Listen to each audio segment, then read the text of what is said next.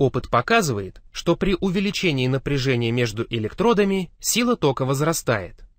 Это происходит до некоторого значения напряжения. Дальнейшее увеличение напряжения не приводит к изменению силы тока, и она остается постоянной. Наблюдается ток насыщения. Почему же так происходит? При небольших значениях напряжения не все ионы и электроны достигают электродов. Некоторые из них рекомбинируют, образуя нейтральные молекулы. Наконец, напряжение принимает такое значение, при котором все образовавшиеся под действием данного ионизатора ионы и электроны участвуют в направленном движении и достигают электродов. Если после достижения насыщения продолжать увеличивать напряжение, то наступает момент, когда сила тока резко возрастает. Причем даже если убрать ионизатор, разряд не прекратится. Такой разряд называется самостоятельным. Рост тока происходит из-за того, что резко увеличивается число заряженных частиц в сосуде.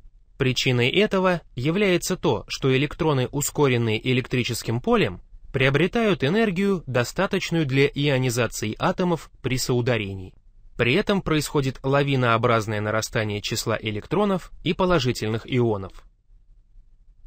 Однако образование электронной лавины является необходимым, но недостаточным условием для существования самостоятельного разряда. Посмотрим, что же происходит на отрицательном электроде. Ускоренные электрическим полем положительные ионы, подлетая к отрицательно заряженному электроду, выбивают с его поверхности новые электроны. Имеет место вторичная электронная эмиссия.